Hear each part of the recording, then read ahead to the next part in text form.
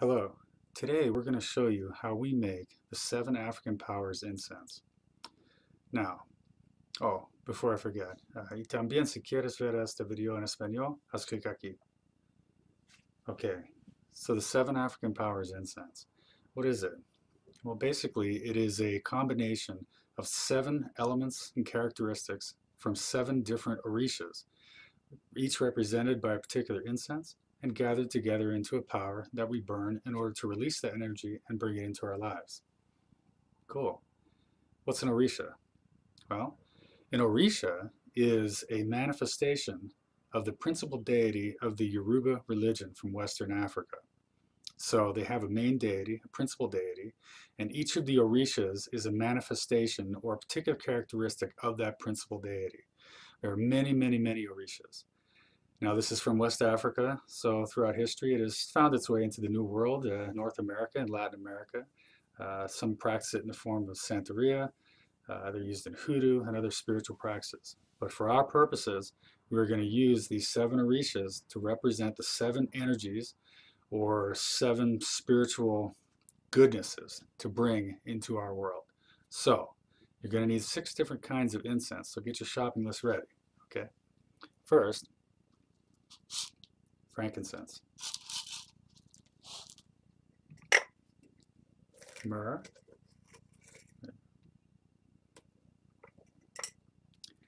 cinnamon, sage. White sage is good, but any kind of sage will do, really. Dragon's blood.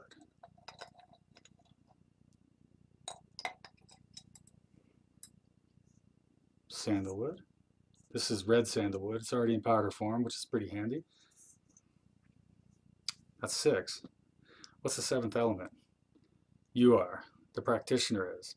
So let's go over this in some detail. Okay, so the six different incenses here, take them in order. We have frankincense.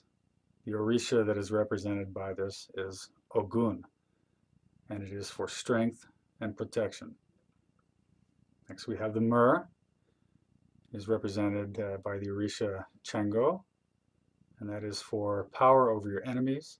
Also has relations to the planet Mars, so warlike and strong, basically dominating. Yeah.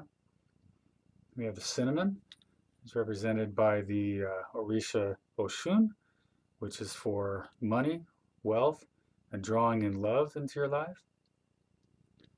We have the sage, represented by Elegua, which is to eliminate obstacles or the things that might be blocking you in your in your path on your road. We have the dragon's blood, which is represented by the Orisha Yemaya, which is for the powers and energies of virility, potency, and strengthening uh, the family, the family home, also marriages, matrimony, things like that. And we have the sandalwood, which is represented by the Orisha Obatala for peace, harmony, and also clairvoyance. Not really the clairvoyance of seeing what isn't immediately around you or outside of your uh, line of sight, but more like uh, clarity of mind. Okay, so you know, clearing up your uh, your headspace and getting your mind in order. And then finally, the very last element, uh, or Orisha rather, is uh, Orunmila, and that is for wisdom. Now, that wisdom is not represented by any particular incense. It is represented by the practitioner.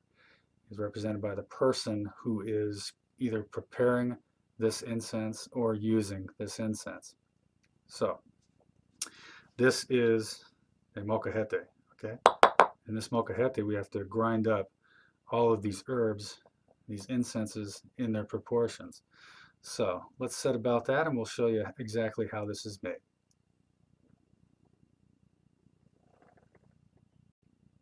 Okay, now this is the fun part. So all of this is made in proportion, okay? I like to use a tablespoon, it's kind of easy and it makes a lot of this just by using tablespoons, but it goes like this.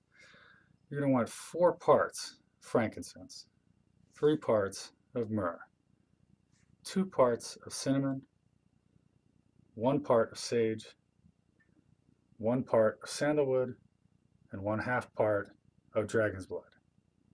So, to begin, four parts of the frankincense. Okay? There. Now, I'm not going to go through this whole thing of grinding it up and, and making it in front of you because it does take a good hour to do this. You got to do this by hand. Okay? But the idea is as you are grinding into each one of these herbal elements or these pieces of the incense, you want to be focused very strongly on the orisha and the energy that it's going to bring about. So, in the case of the frankincense, we have the orisha ogun, and the energy is strength and protection.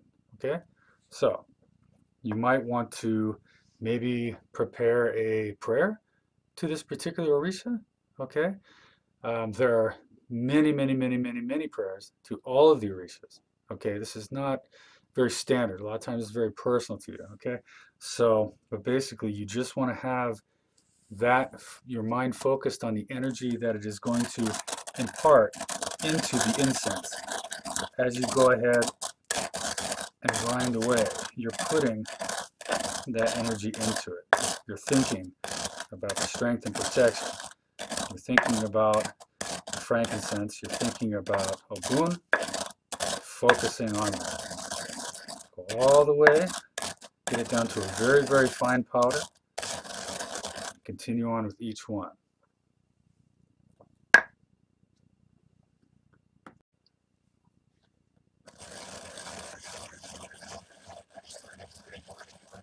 This is kind of the consistency that you want the uh, resinous parts to be, to be.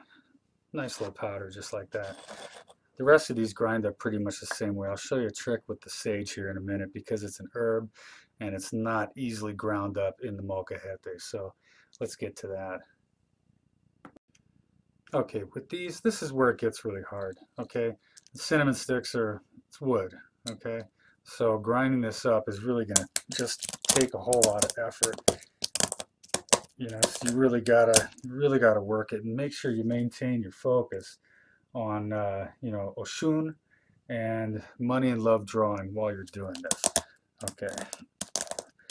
Two of the difficult things in life to really attract to yourself is wealth and love. Okay, so you really got to work at this.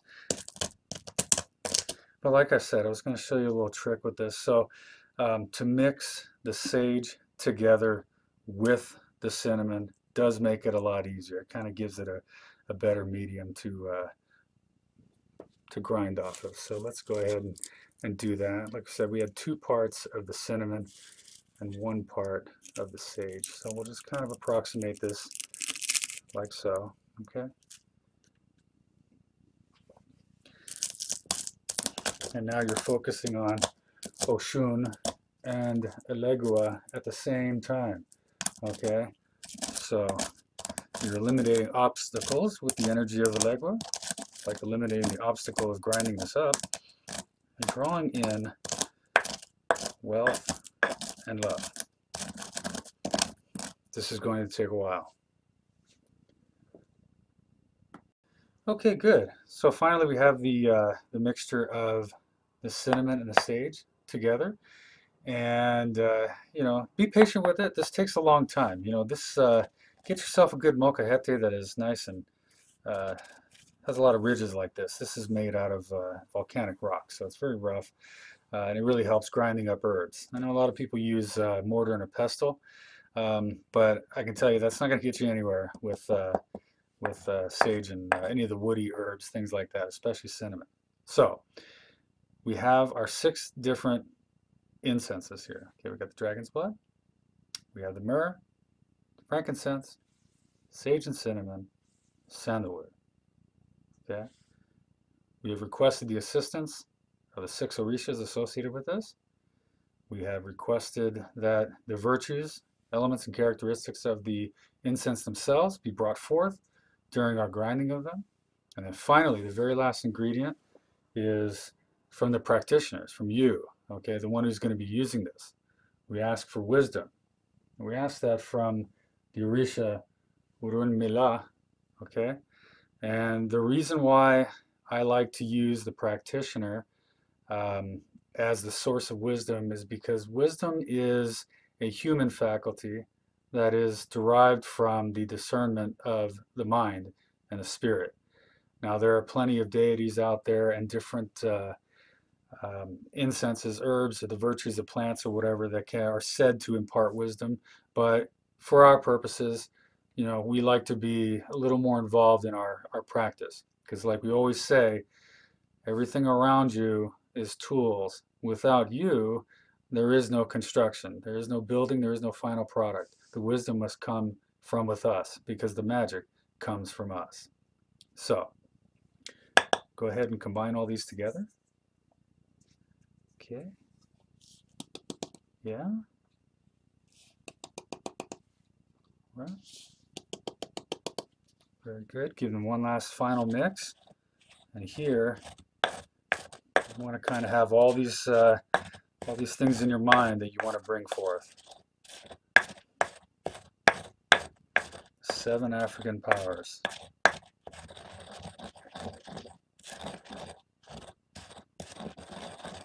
Okay.